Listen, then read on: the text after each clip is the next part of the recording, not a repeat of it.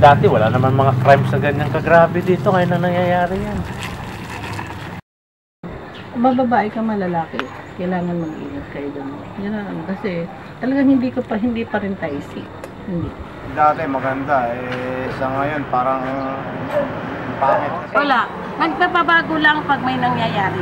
Yun lang sila. Hindi, Hindi hindi ano, hindi maganda. Hindi maganda ang dating sa mamamayan dito. May nagbago sa Los Baños. Yung mga nilalagay nilang mga backwood, yun lang.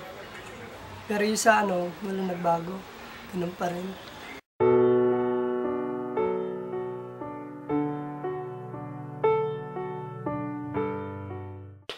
Isang taon na ang nakalipas nang mayanig ang katahimikan ng mga mamayan sa bayan ng Los Baños. Mapapansin ring sunod-sunod ang mga naganap na karumal-dumal na krimen sa nasabing bayan. May mga scholar ng bayan na naging biktima tulad ng Given Grace Sebanico at Ray Bernard Peñaranda. Mayroon ding mga residente ang napahamak tulad ng sampagita vendor na si Rochelle. Sa paglipas ng panahon, dahan-dahang bumabalik sa normal ang dating takot ng mga mamamayan. Kung mapansin natin, mag-aalas 12 na, marami pa rin tayong makikita mga tao at marami pa rin bukas ng mga establishments. Nakaraang taon, nagmamadali na ang bawat scholar ng bayan at nagsasara na ang bawat establishments dahil sa takot ng bawat mamamayan ng Los Baños. Iba-iba ang pananaw ng mga residente ng Los Baños ukol sa seguridad ng bayan.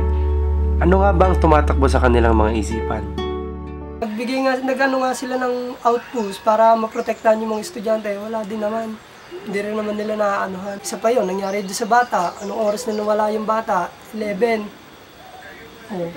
Sobra-sobra na sa curfew na 10, eh, 10 p.m. yun na, di ba? Wala. Sagana lang sila sa mga patambay-tambay. Yun lang masasabi ko, nung nagbago. Mas lalo pang lumala.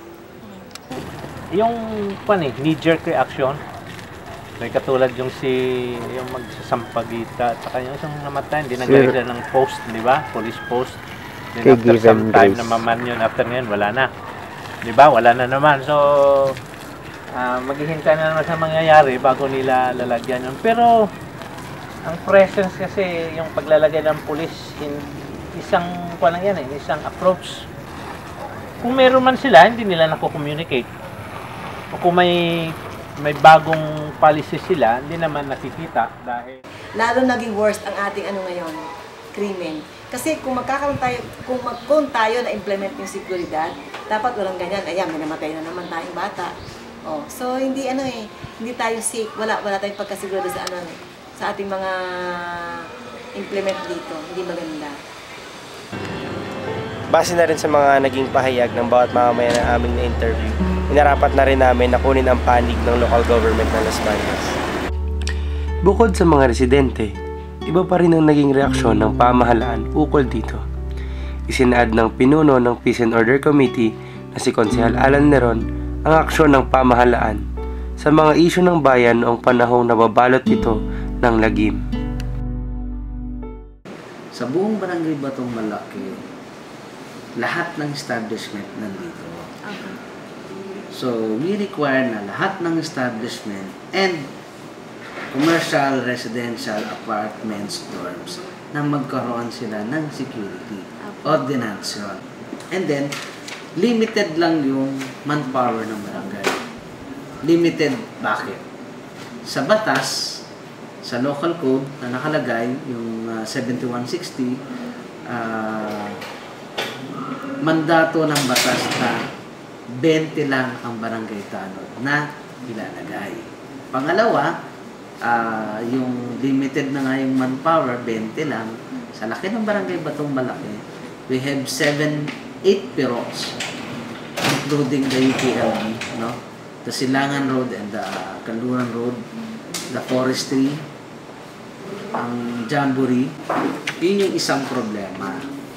Uh, masyadong malaki, limited resources, and limited funds. Ibig sabihin, kung malaki yung pondo ng barangay, ay pwedeng mag-create ng brigada. Ah, brigada in terms of ah, bantay barangay, na pwedeng mag-create ng sampu, bibigyan mo lang sila ng allowance. So, hindi namin magawa yun kasi limited lang yung resources. Sa ibang barangay kasi nagagawa yun. So, meron kaming limang sets ng CCTV cameras. Ah, nakalagay siya sa mga entry point and exit point ng Barangay Batong Malaki. So, yun yung isang masasabi ko na ginawa ng barangay na maganda.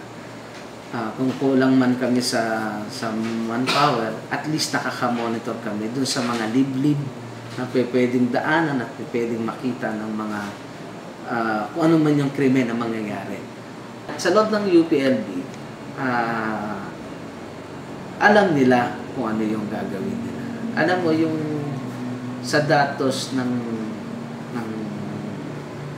ng UPL, ano, yun yung sabi ng aming kapitan, ang index crime ng UPL mas malaki pa kaysa sa index crime ng Los Baños. Kasi ang problema kasi, ewan ko ba, parang feeling ng barangay, nababaliwala ang barangay in terms from UPLB. Naapektuhan ng labis ang UPLB community sa mga negative publicity na nakuha ng Las Baños. Makikita sa graph ang pagtaas ng enrollment rate.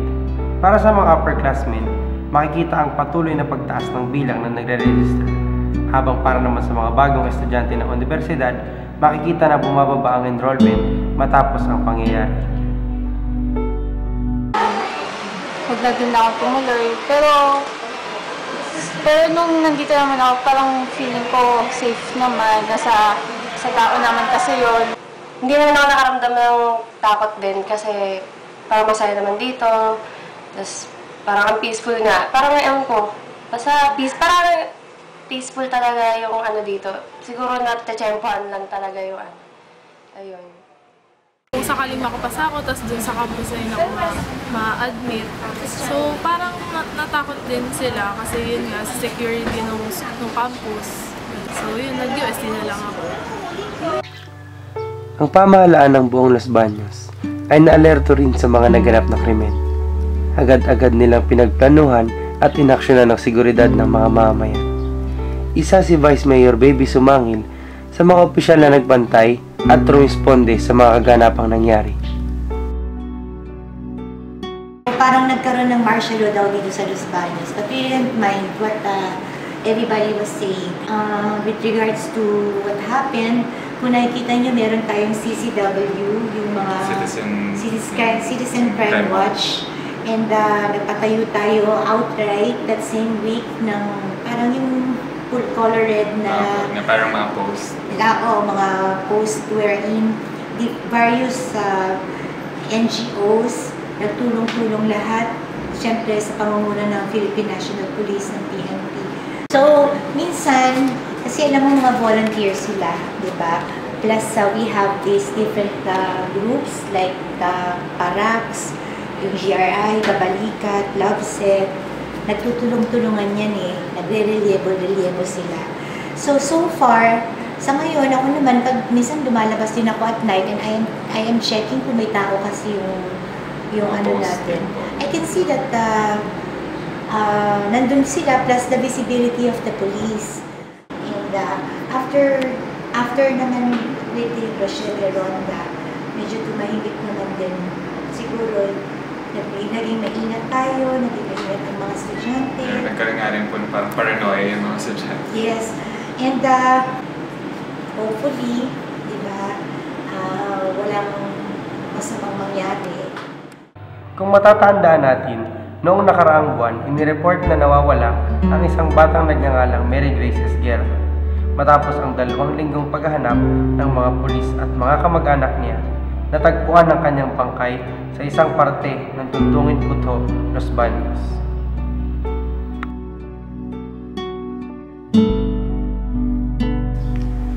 Pagkamatay ni Mary Grace, isang indignation rally ang ginanap noong March 19. Kasama ang pamilya ng biktima, patuloy pa rin ang paghingi nila ng hustisya para na rin matigil ang mga nangyayaring krimen dito sa nooy matahimik na bayan ng Los Baños.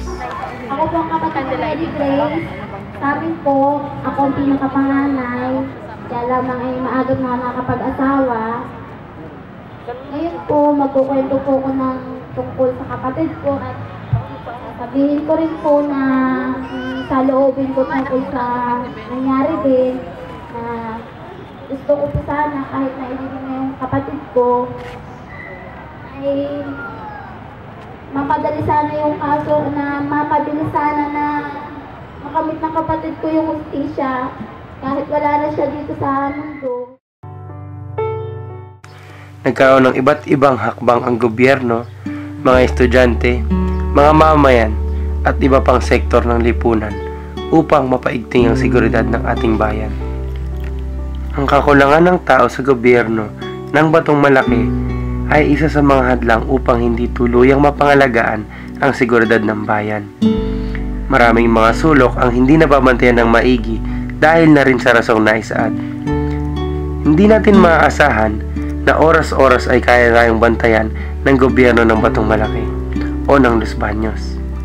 Sa huli, ang makakabantay lamang sa atin ng 24 oras ay ang ating mga sarili.